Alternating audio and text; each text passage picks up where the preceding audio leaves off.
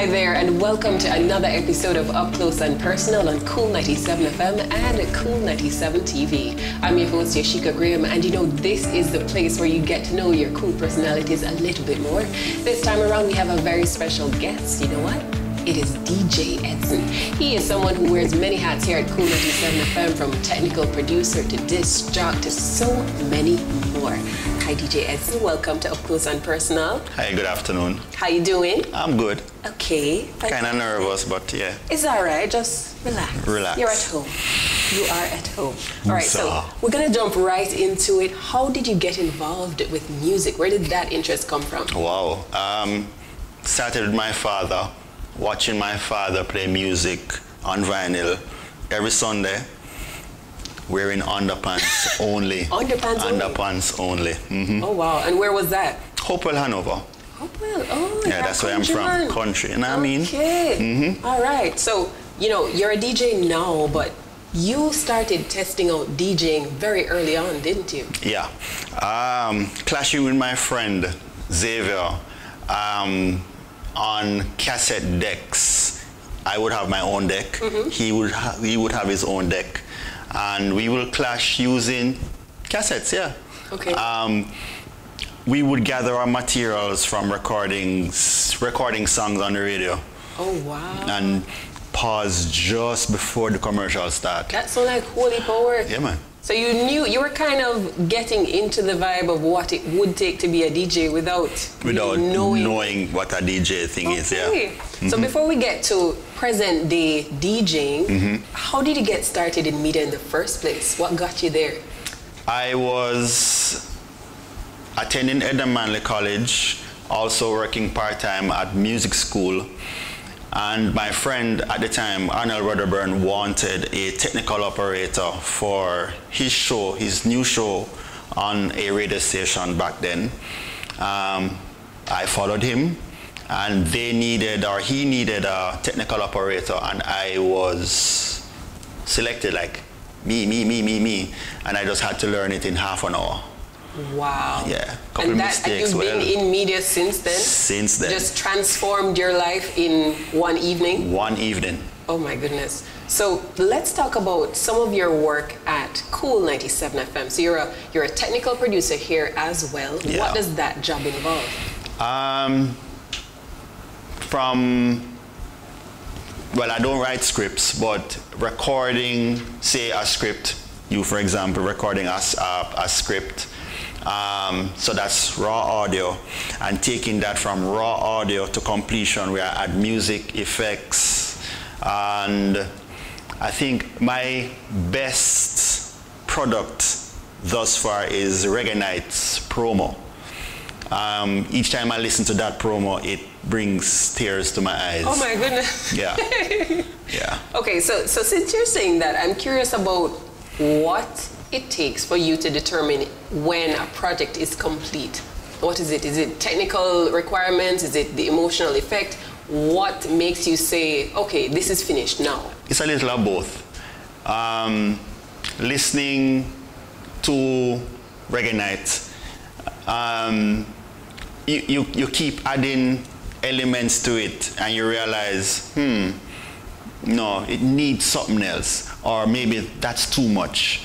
And you get this feeling, like a gut feeling, mm-hmm. and that determines its completion.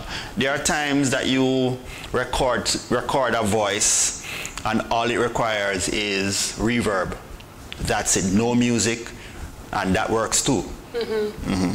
So does, so does your work as a technical producer play into your work as a DJ? How Yes. does that inform, or do they both inform each other? Yes, um, I've been on uh, setups where a DJ does not know how to at least connect speakers um, to his set, and with my technical background, uh, I can basically run the entire show myself. Not bragging still, but yeah. Um, I like being a technical person. I like being able to work behind the scenes. I mean, being a DJ is great. it's it's mind blowing. Mm-hmm. Um, seeing a crowd dancing to your set and enjoying themselves is fulfilling. Yeah. So what goes into that work? Because as, as an audience member, when you go into a party, you're thinking about what you're wearing, how you're going to get there, those kinds of things. Mm-hmm. But the DJ has a different kind of preparation to make. What does that involve? Um, ensuring you play the hits, ensuring you play what you think the person will remember, carrying them through memory lane, um, watching them dance, mm-hmm. watching them react to a song you drop um, hearing them scream, women scream, you know, Manabosa blank, you know, stuff like that. It's amazing. Okay, well, we're going to draw you out to see if you can make me dance in a little bit. Okay. Uh, but hold on. Mm-hmm. So, what I do want to ask you is you mentioned Edna Manley mm. before. So, I'm asking, no, why were you at Edna Manley? Tell us about that. Ooh, wow. Many moons ago, I went there to study jewelry. Jewelry? Jewelry, yeah. So um, made jewelry, worked at a few jewelry stores back in the day, and also before jewelry, I was a stained glass artist. Wow. So church stained glass? Church stained glass, yes. And you, how did you get into that? Ah, that you, when you went to high school back in my day, you were required to to go on work experience, mm-hmm. and I was sent to uh, an establishment um, no longer exists. Um, they make it's a factory and they make stained glass lamps. And Mr. Taylor, Junior Taylor, was my first boss. He's a friend of Kool, and from then on, I fell in love I was a glass. I started out as a glass cutter. Oh my goodness. Yes. This listen. When you're listening to up close and personal, you know you got to be prepared to discover things that you thought could not be possible. All right. You never know what our cool personalities have been up to. They're magicians. I tell you. Okay, you hear them, but they're doing so much more. Thank you so much, DJ Edson. No you know problem. what I want to ask you right now? You've had uh, a layered experience mm-hmm. in life. You've been in art, you've been in music, you've been in all of these areas. How important were mentors in your journey? Hmm. Wow. Um, I would say they grew me. Um, they kept me grounded, so to speak. Um, I must thank, if, I, if I'm allowed to mention a few, Mr. Tomlin Ellis. Um, he taught me radio, so to speak. Um, Mr. and Mrs. Bryan, Claudette Bryan and Junior Bryan, um, they taught me to be humble. They were one of the few places I worked as a jeweler in Montego Bay. Um, Bunny Goodison, he was my the first person who taught me how to play vinyl. Mm. Yes, I was his technical operator. Breakfast Club, the early morning show on radio, Beverley Manley and Anthony, Tony, Tony Abrahams, I think that's his name, Tony Abrahams, the late Tony Abrahams, um, our beloved Prime Minister. I was his technical operator and Tufton, Minister Tufton, I was also his technical operator. Um, wow. Too much. It it's, sounds it's, like it's, a layered it's a lot. deep experience that you've had. What I'm, I'm curious about as well is how your life has changed since being at Kool 97 FM. How has that impacted your journey? Wow. Um, I got my first gig because of Kool 97 FM. I played for Sophia's place in Portmore, Hellshire Portmore, I saw my picture on a, on a flyer. Um, it made me cry a little bit. Oh my goodness. A, a little bit. name on it and everything? I mean, name, spell right, E-D-S-O-N, yeah, DJ Edson. Wow. Um, when I played at that event and I saw persons come out to see me mm-hmm. or I play a jingle, my jingle, allow myself to introduce myself.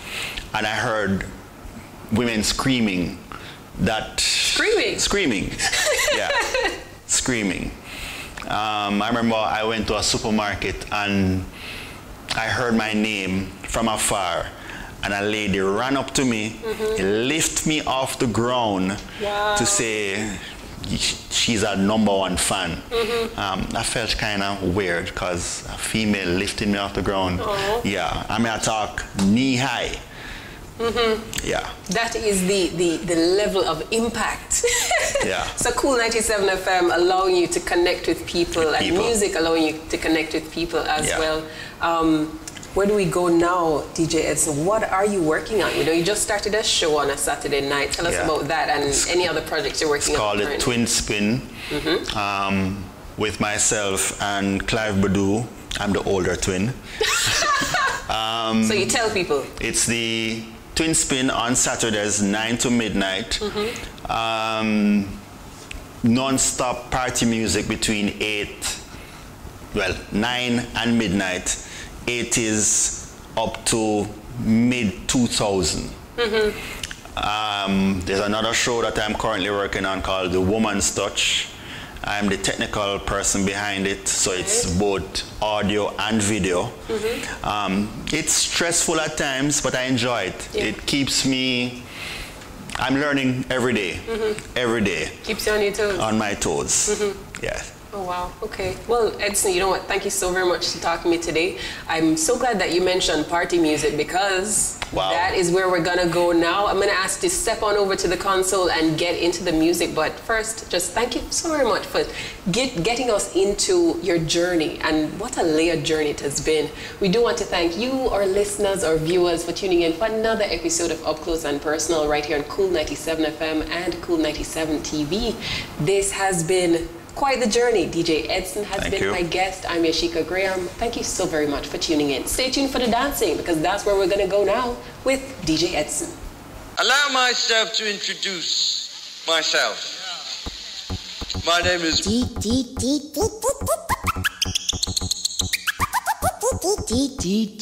DJ Edson.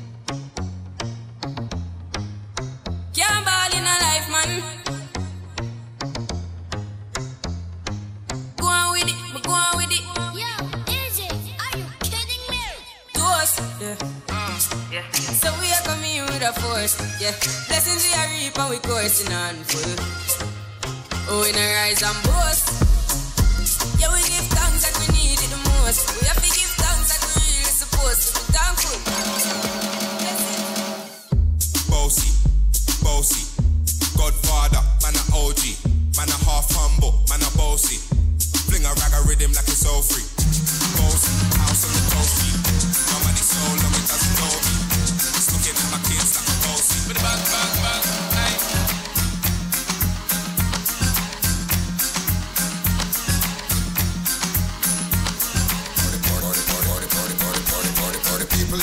feel.